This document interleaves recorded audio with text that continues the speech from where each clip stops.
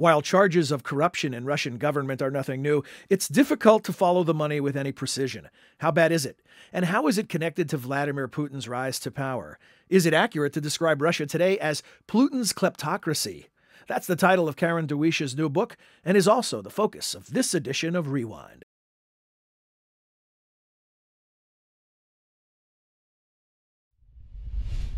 The basic conclusion that I came to in this book is that Russia is not a system under Putin of accidental autocrats. It is a system that was created with a purpose by intelligent design from the very beginning of the Putin regime.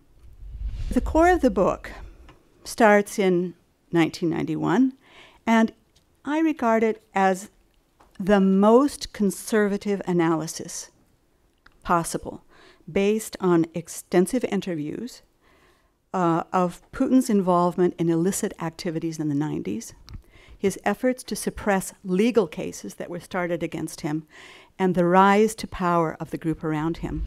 I've been working on the Putin regime uh, and the appearance of power that I think masquerades this uh, kleptocracy. Um, and I'm interested in the creation of a facade of autocracy the pretense that one man rules, when in fact, what I think Karen Dawisha is showing is that it's a network and also a facade of democracy because this is a man of the people, this is a, a regular guy, this is a guy who uses tough language, so he must be speaking the truth, he must be authentic. I'm very interested in the ways that was also constructed in this same time period to make it look like he's the guy. In your book, you talk about the rise of Putin and his career.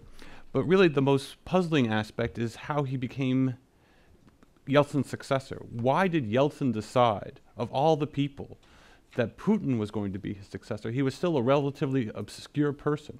But when he raised him to prime minister, he not only raised the prime minister, he said he's going to be the next president as well. Right. And no one believed him because Putin was a complete unknown at the time.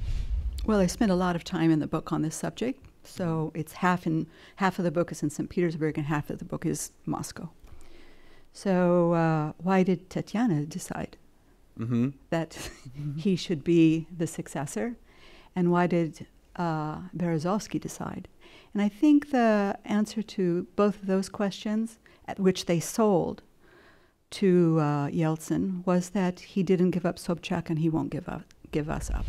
I have two qu- questions related to each other. One is uh, directly to you. You named the book Kleptocracy.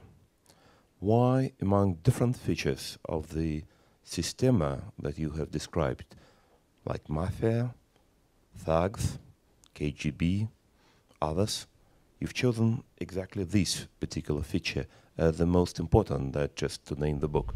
The word kleptocracy correctly conveys a normative evaluation that this is a system that we shouldn't in any way condone by calling it something that doesn't travel, like Systema. When a book is published in the States, conveying a sense of what we're really talking about here. And the major feature of this system is theft. In Russia, they, the greed is much more important to them than the ideology. The ideology is, a, is the kernel that they wrap it all up in, that they feed to the propaganda machine so that people, ordinary people, can feel that they have, you know, that, they, that they're contenders, right? That they could go off and fight somewhere, that Russia is back, and, and so forth. So I, I don't, one, of course, could use that, but also that, that whole thing has been now so debased by the Russia Ukraine crisis. So that's really why I chose the word kleptocracy. For more information, visit wilsoncenter.org. Click the Programs tab to find additional resources from the Wilson Center's Kennan Institute.